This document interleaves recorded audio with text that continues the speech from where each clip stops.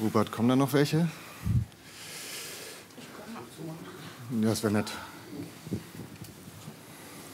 Ja, kommst du noch?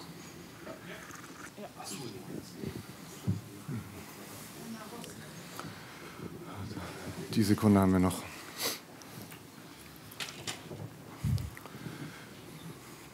Gut, dann scheinen alle da zu sein. Dann lasst uns doch anfangen.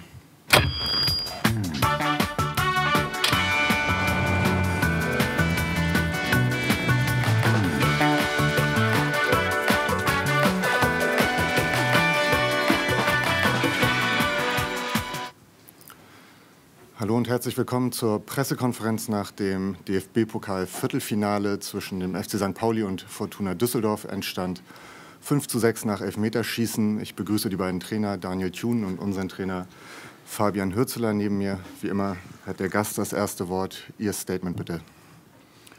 Ja, vielen Dank. Ähm, möchte mich gar nicht lange mit dem Spiel aufhalten, weil es für uns wichtig war, ähm, vielleicht auch relativ schnell das Pokalspiel anzugehen und abzuhaken, unabhängig vom Ergebnis.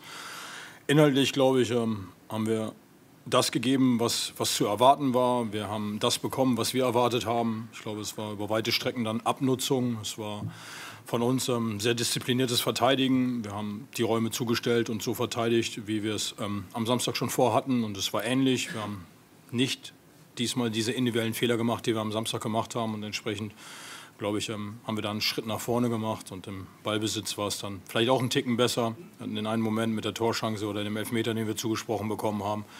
Und dann hinten raus natürlich auch mit dem zweiten Tor, wo wir einen Abschluss haben, auf den zweiten Ball fallen und den Ball reinmachen. Und ähm, der Rest war brutale Dramaturgie, Emotionen. Wenn man einen 120. bekommt, dann ist es schwer aufzustehen. Ähm, da bin ich sehr, sehr stolz und Kompliment an meine Mannschaft, dass diese Niederschläge sie dann nicht komplett aus der Bahn geworfen hat. Das Elfmeterschießen genauso, wo man in Rückstand gerät, den Elfmeter dann ähm, hält und dann wiederholen muss und am Ende des Tages dann glücklich ein DFB-Pokalspiel gewinnt. Ähm, freuen uns maximal darüber, ähm, das Halbfinale erreicht zu haben und freuen uns sehr, sehr über den Sieg. Danke. Dankeschön. Fabian, dein Statement bitte. Moin zusammen. Ja, erstmal Glückwunsch an, an Düsseldorf. Ich glaube, dass wir uns die Niederlage schon in gewissem Maßen selbst angreifen müssen, weil wir bei 90 Minuten nicht, nicht das gespielt haben, was, was wir können.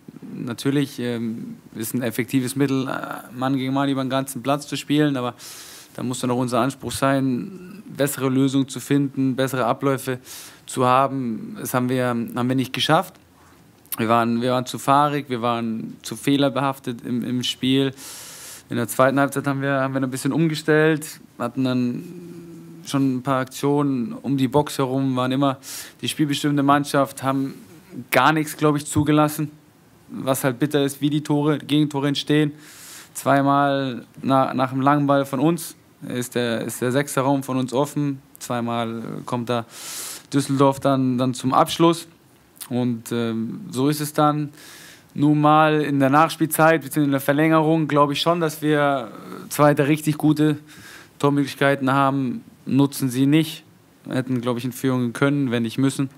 Dann wäre das Spiel anders gelaufen. So ist es dann am Ende Elfmeterschießen und dann Lotterie, wo dann einfach Düsseldorfs Quäntchen Glück hatte. So ist es im Fußball. Ich glaube, äh, dass wir am Samstag wieder eine riesige Chance haben eine Reaktion zu zeigen auf das Spiel. Und äh, da geht der Blick auch hin, weil gute Mannschaften stehen genau nach solchen Niederlagen wieder auf und zeigen eine Reaktion. Und ich bin überzeugt, dass meine Mannschaft äh, eine gute Mannschaft ist, mit, mit tollen Charakteren. Das haben sie auch heute wieder unter Beweis gestellt. Es hat äh, das nötige Glück gefehlt, aber das werden wir uns wieder arbeiten. Ich wünsche äh, Düsseldorf noch alles Gute in der Saison. Danke.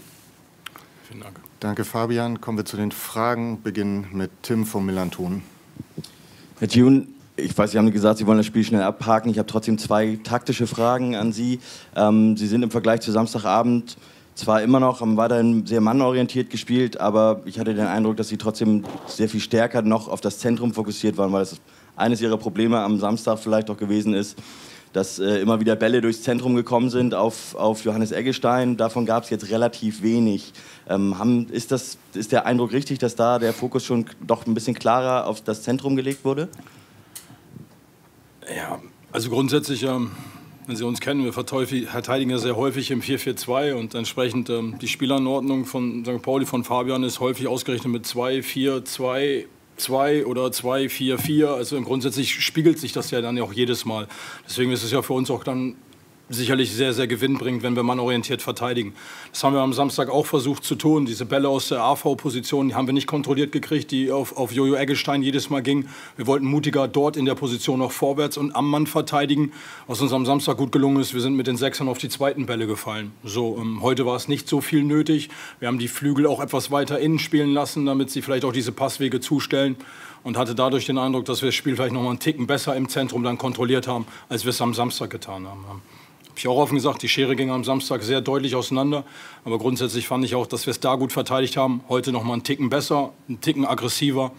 Und ähm, entsprechend, glaube ich, war das dann der Schlüssel, dass wir im Offensivbereich vielleicht dann auch mal den einen oder anderen Moment hatten nach vorne, um auch vielleicht den, den einen oder anderen Abschluss mehr zu kreieren. Aber grundsätzlich ähm, war der Auftritt jetzt, glaube ich, auch von uns deutlich mutiger, als er noch am vergangenen Samstag zu Hause war mit dem Ball.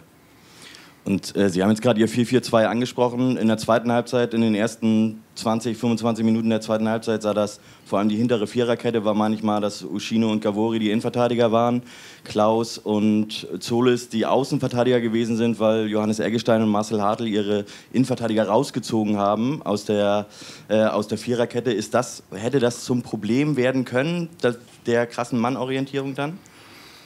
Ja, das hatten wir am Samstag auch. Ähm, wir sind dann ja mit den Außenverteidigern, haben versucht, sehr weit einzurücken, um vielleicht dann, so wie in der zweiten Halbzeit am Samstag, nicht in so eine Kontersituation zu kommen. Da war ja das 3 gegen 2, was ähm, am Wochenende ja hätte schon zum Erfolg führen können, zumindest das Überzahlspiel. Ja, in den Fällen haben wir sehr mannorientiert verteidigt. Wir haben zwingend nicht versucht, dann ähm, die Außenverteidiger, wenn sie in der Acht gegangen sind, dann haben wir sie nicht mit unseren Flügeln verteidigt, sondern sind ein bisschen tiefer gefallen mit den Sechsern. Ähm, am Ende war es komplett mannorientiert und mit dem Wechsel, den Fabian vorgenommen hat, vielleicht viel mehr im Dreieraufbau, haben wir den dritten halt auch mit hochgeschoben in der zweiten Halbzeit. Und ähm, ich fand, dass es ein Schlüssel sein kann, sein muss. Und, ähm, aber bei der Qualität, die die Truppe auf den Platz bringt und ähm, Fabian mit seinem Team auf dem Platz auch Qualität anbietet, ähm, ist es halt brutal schwer, das auch über 90 oder 120 Minuten zu verteidigen. Also das ist uns vielleicht heute besser gelungen, aber ähm, wir hätten das Ding auch verlieren können. Ich sehe keine weiteren Fragen. Dann unseren Gästen Glückwunsch und eine gute Heimreise. Ihnen und euch danke fürs Kommen. Tschüss, bis zum nächsten Mal. Vielen Dank.